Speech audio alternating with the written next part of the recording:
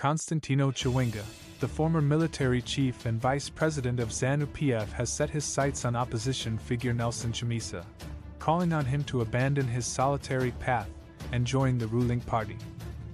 VP Chiwenga's remarks came during a rally held at Chikurubi Damview, where he didn't mince words in addressing Chamisa's political stance.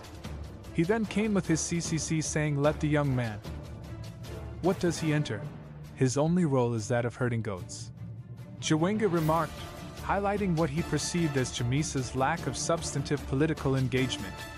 Further pressing his point, Chiwenga emphasized the necessity for Chamisa to align his ambitions with ZANU PF. If he has ambition, he must execute it while inside the good party that fulfills the wishes of the people. Chiwenga asserted. He continued, If you've decided to do politics, you must join others, not remain lonely. Chamisa, the former leader of the opposition CCC has been a vocal critic of the ruling party's policies and leadership. However, Chiwenga's call for Chamisa to switch allegiances underscores the ongoing political tensions in Zimbabwe, where the divide between the ruling party and the opposition remains deep seated. As Chiwenga's words reverberate across the political landscape, Chamisa's response and the potential ramifications of his decision will be closely watched by Zimbabwean citizens and observers alike.